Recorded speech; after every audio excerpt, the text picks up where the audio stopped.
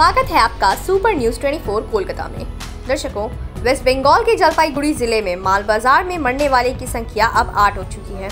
जब दुर्गा मूर्ति विसर्जन के बीच माल नदी में अचानक जल स्तर बढ़ गया और बाढ़ आ गई, बाढ़ में लापता लोगों की तलाश के लिए प्रशासन ने आज सुबह से ही सर्च ऑपरेशन भी जारी कर दिया। दो लोग मारे जा चुके हैं और कई अभी भी लापता हैं, क्योंकि फ्लैश बाढ़ ने बंगाल के उत्तरी हिस्सों में मालबाजार जलपाईगुड़ी ज़िले के माल नदी में विजयादशमी पर दुर्गा पूजा मूर्ति विसर्जन के लिए एकत्रित भीड़ को धो दिया।